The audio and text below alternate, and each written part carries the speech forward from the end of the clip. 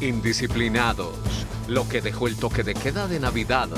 Autoridades impartieron 504 comparendos a infractores de la norma en Antioquia. Más quemados. Celebraciones de 24 y 25 dejaron otros 7 quemados con pólvora en el departamento. Ya son 38 los lesionados por manipular juegos pirotécnicos. Fin de la polémica. Comenzó tala de árboles en el túnel verde de Envigado.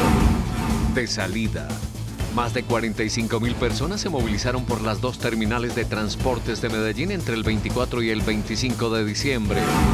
Nuevos contagios.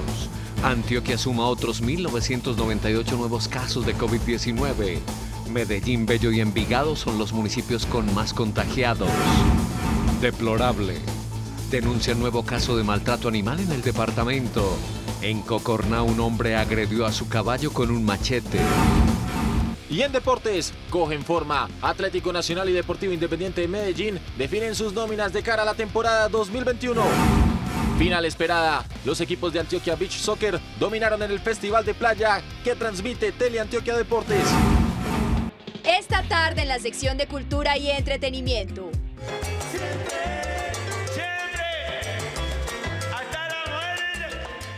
De luto. Falleció el puertorriqueño Tito Rojas. Sus fanáticos y amigos lamentan su muerte. Medallo City. Estoy hablando en mi siete. Lo llevo de norte a sur y por el tour del grafite. El paisa Maluma lanzó su nueva canción como un homenaje a todo lo que Medellín tiene para ofrecer.